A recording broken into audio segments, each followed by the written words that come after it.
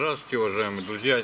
Сегодня мы будем пересаживать ель конику, которую мы купили в январе. И сейчас будем рассаживать ее.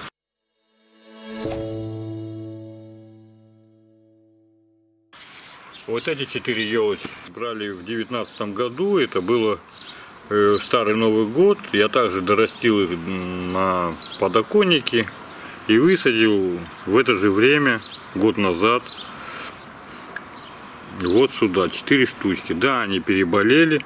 Они в прошлом году сильно болели. Я думал, если честно, им будет, э, ну, травмироваться они будут. А так, ну, я смотрю, в этом году они пошли, пошли довольно пышно. Очень красивая елка. Сейчас она окрепнет, осенью будет пересаживаться в притененные места. И я думаю, все будет хорошо. Для того, чтобы рассадить, естественно, сначала топим. Вот она вышла сама, видите? Получается, что там почти нету воды, влажности.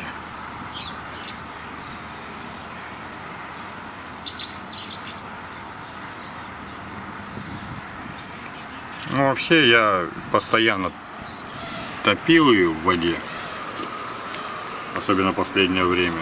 Вот так вот раз в неделю это однозначно надо топить. И опрыскивал. Вот здесь сейчас выкопаем.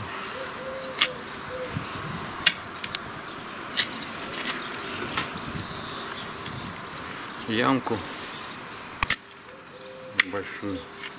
Земля простая, с песком. Чего не добавляем. Ну, здесь теневик такое посевная, как можно сказать. Поэтому выкапываем. Замочили мы ее, вытаскиваем, смотрим корневую. Ну, видно, да, что она уже прям корни у нее очень хорошие за это время. Это можно сказать лишнее все. Вот ее даже вот горшочек маленький, видите, в каком-то она была. И сколько корней всего живых было в ней. То, что она нарастила за полгода. То есть берем, садим ее. Можно тот же грунт.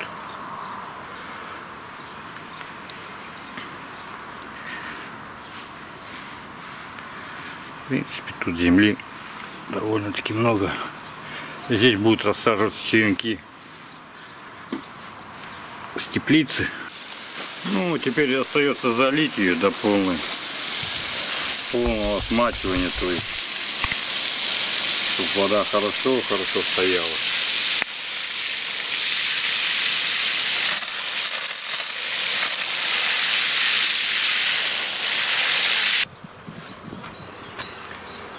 Вот, уважаемые друзья, как можно видеть, тут вот эта коника у меня уже 10 лет.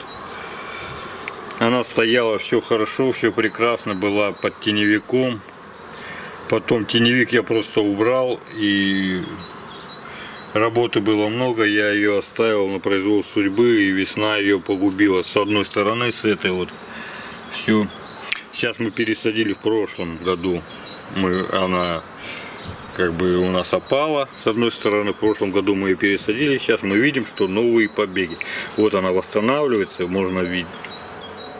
Здесь уже не восстановится. Конечно же это все надо обрезать. То что восстановилось восстановится. То есть восстанавливается она довольно долго. Это два года ей восстановления как минимум. Поэтому я и, и говорил что елка пендитная очень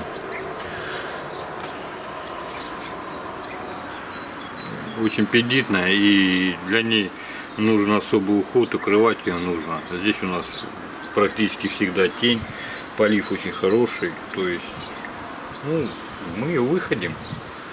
Она, она нас радовала буквально, ну, да, лет 10, наверное, радовала. Вот в прошлом году она, я извиняюсь, и это просто была моя халатность, то, что я Сначала не пересадил ее, а потом снес теневика. сделал наоборот, снес теневик и... То есть все из-за халатности, уважаемые друзья, халатность к отношению к растениям. Все происходит. Как вы к ним относитесь, такая не к вам. Всего доброго. С вами был Евгений Филимонов.